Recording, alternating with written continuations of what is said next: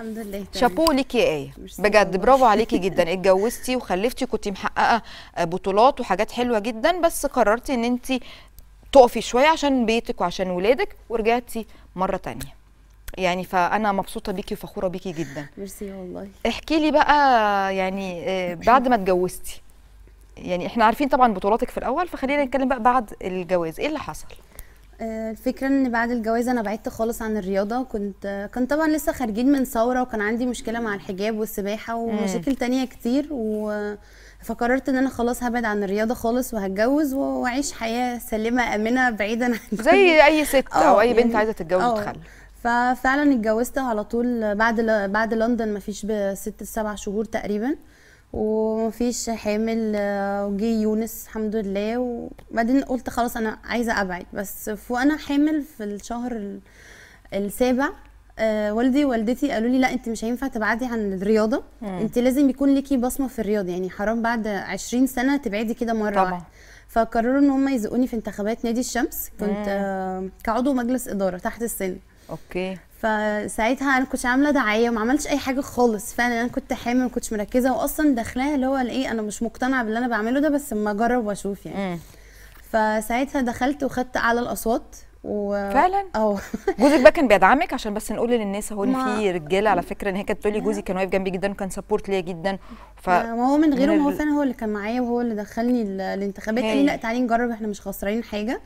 وفعلا دخلت وكنا حوالي المفروض 10000 صوت أنا خدت منهم 7000 ونص صوت. مم. فاللي هو أنا ما عملتش دعايه ما عملتش حاجة وساعتها جوزي ما كانش يعرف إن أنا بطلة عالم وخماسي ما كانش يعرف التفاصيل يعني كنت بعملها.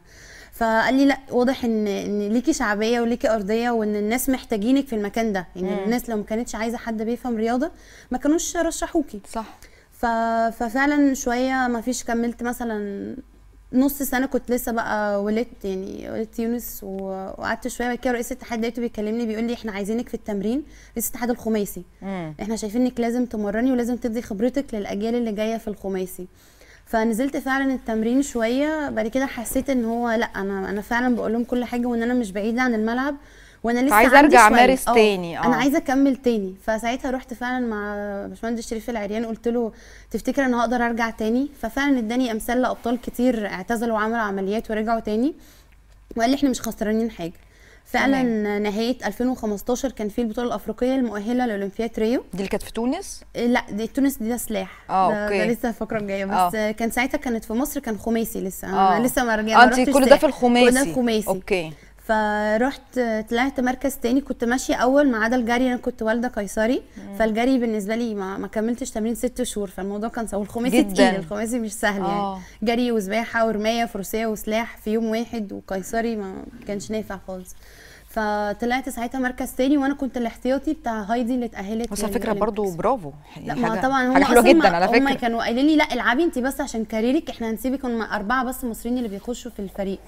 فقالوا لي لا خشي وإحنا يعني بس أنا كنت عارفة إن من من الخلفية هم مش معتمدين عليا أصلا خالص وعارفين إن أنا كنت ما متوقعة إن انت توصلي للمركز الثاني ولا آه، ما كنت- كنتيش حاطة في دماغك أنا كنت قوي متوقعة إن أنا أتأهل إن أنا كنت آه. هطلع أول إن أنا فعلا كان الفرق الجاب ما بيني وما بين التاني كان فرق كبير جدا بس لولا الجري كان ال... كانت الأرض رملة زي ال... زي البحر كده زي الشط آه. فالأرض كانت صعبة ما عليا كانتش مساعداكي بعد آه. الولادة طيب